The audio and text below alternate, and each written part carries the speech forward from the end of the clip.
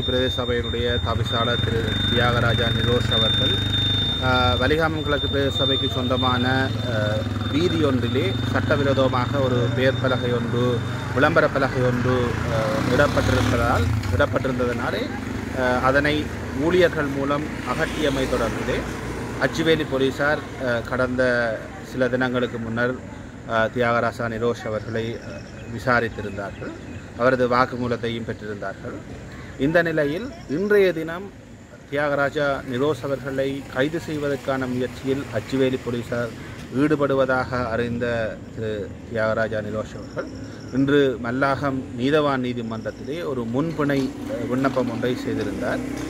அந்த விண்ணப்பத்தை விசாரித்த கௌரவ நீதவான் அவர்கள் எதிர்வரும் புதன்கிழமை இந்த வழக்கை அழைப்பதற்கு திகதியிட்டிருப்பதோடு அச்சுவேலி போலீசாருக்கு இந்த வழக்கு தொடர்பான அறிவித்தலை அனுப்புமாறு பணித்திருக்கின்றார்கள்.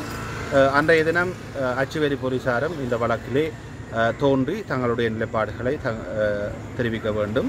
அதன் பின்னர் முன்பிணையில் விடுவதா இல்லையா என்பது தொடர்பில் அஹ், கௌரவ மல்லாகம் நீதவானவர்களாலே தீர்மானம் எடுக்கப்படும்